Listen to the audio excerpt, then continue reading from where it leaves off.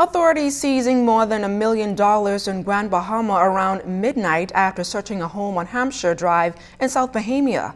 Police say the bills were in U.S. currency. No arrest was made and investigations continue. Several hours later, two men were taken into custody after police discovered a duffel bag of suspected marijuana and hashish hidden in the ceiling of an apartment also on Hampshire Drive. Authorities say the drugs were valued at $65,000.